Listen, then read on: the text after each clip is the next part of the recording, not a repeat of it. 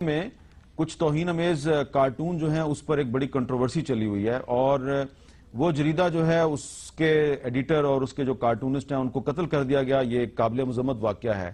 لیکن اس جریدے نے جو توہین امیز کارٹون ہیں وہ دوبارہ شائع کیے ہیں اور ڈیڑھ ارب سے زائد مسلمان جو ہیں وہ اس پر کافی رنجیدہ نظر آتے ہیں۔ اس کا میں چاہتا ہوں کہ آپ لوگ کمپیریزن کریں۔ کچھ عرصہ پہلے اسرائیل کے وزیراعظم نیتن یاہو کے خلاف برطانیہ کے اخبار سنڈے ٹائمز نے ایک کارٹون شائع کیا اور اسرائیلی حکومت نے اس سنڈے ٹائم سے معافی منگوائی۔ کارٹون میں جو ہیں وہ فلسطینیوں کے خون سے ایک دیوار بنا رہے ہیں۔ کوئی بہت زیادہ اس میں توہین نہیں کی گئی تھی۔ اسی طرح ایک اور امریکی اخبار ہے، نیو یارک ٹائمز۔ اس نے جو بھارت کی خلائی مہم ہے، اس کے بارے میں ایک کارٹون شائع کیا۔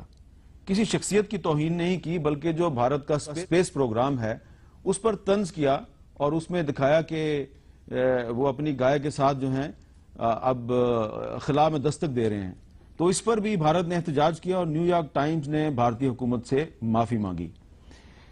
سوال میں نے صرف آپ کو یہ گوشے گزار کرنا ہے کہ نیتن یاہو اور بھارت کی خلائی مہم، اس کے خلاف کارٹون شائع کرنے پہ سنڈے ٹائمز نے اور نیو یارک ٹائمز نے معافی مانگی۔ لیکن ڈیڑھ ارب مسلمان جو ہیں وہ بہت بے بس اور لاچار نظر آتے ہیں۔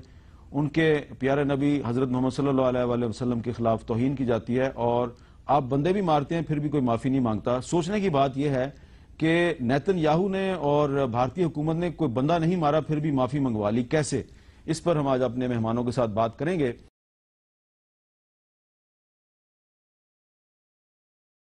میرے پاس ایک نیو یارک ٹائمز کی خبر ہے۔ New York Times apologises over India's Mars mission cartoon.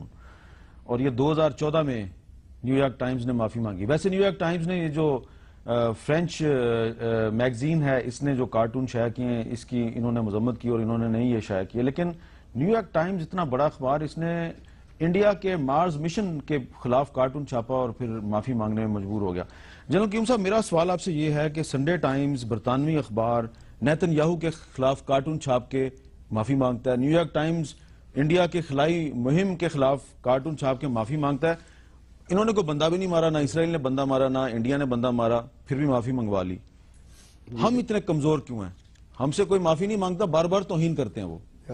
دیکھیں، جو ہمارا بھائی فرانس سے کہہ رہا تھا، میں اسی کی بات کو آگے لے کے چلنا چاہتا ہوں کہ یہ جو یورپین لوگ ہیں یا امریکن ہیں ان سے ہمارا کوئی گلہ نہیں ہے۔ عوام سے یہ بڑی میں تو سمجھتا ہوں کہ ان کے منتخب نمائندے اور حکومتیں بھی مسلمانوں کو اکاموڈیٹ کی ہے۔ Millions of Muslim زردے